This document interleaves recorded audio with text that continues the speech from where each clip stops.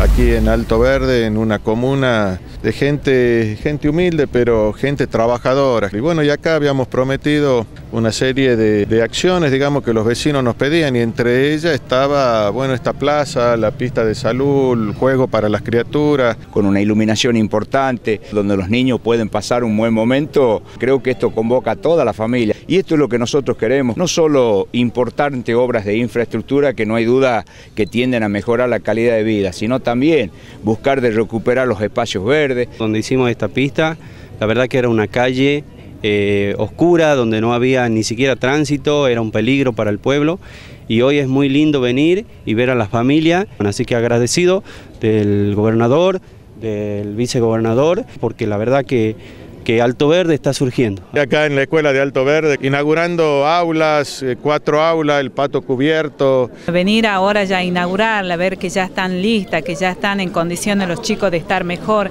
en, sus aulas, sus padres más tranquilos, decir que bueno, sus hijos vienen a la escuela y están bien cuidados, eso la verdad que en eso eh, es que la gente siempre ve el acompañamiento. Aquí hay prácticamente 700 chicos entre la escuela primaria y secundaria de Alto Verde y también como hay 700 chicos, son 700 familias, muchos de cuales adultos tienen pendiente terminar su estudio. Entonces hoy lo anunciaba el gobernador, el vicegobernador Osvaldo Jaldo, me han dado la instrucción de que abramos también la escuela secundaria para adultos. Y eso es lo que estamos haciendo, con el presupuesto provincial, con recursos propios, con recursos que aportan los tucumanos, porque lamentablemente de la nación no estamos recibiendo lo que por ley nos corresponde. No hay duda que vamos a seguir gobernando la provincia, dando las soluciones a la gente, pero dándole prioridad a los que menos tienen y a los que más necesitan. Grandes avances cuidar a las criaturas, cuidar que todos estén en la escuela. Hoy Tucumán está mejor a partir de generar oportunidades, a partir de la educación y a partir